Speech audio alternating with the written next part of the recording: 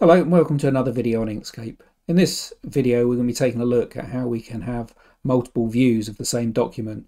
You might want for example here to have an overall view of your document whilst you have a zoomed in version so you can actually work on detailed sections of your project and you can see how the overall result looks in the second window. This is also perfect if you work with multiple screens. Stick with us.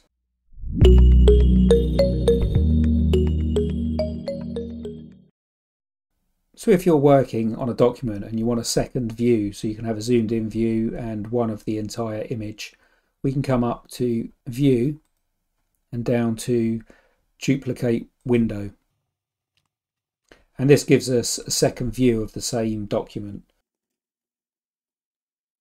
So this is perfect if you want to zoom in on a particular element of your project whilst keeping a, an eye on the overall image. So we could drag this down. We want to work on the face. So I'm going to give him a smile, make him a happy chili. We can come in over here and we can adjust our, our face, give him a smile. And we can see exactly what's going in, on in the entire project over in the second window. This is perfect if you work with multiple screens. You can stick one image on one screen and the other image on the other screen. So very simple to do, very handy and I hope you found that helpful. Thanks for watching. I'll see you in the next video.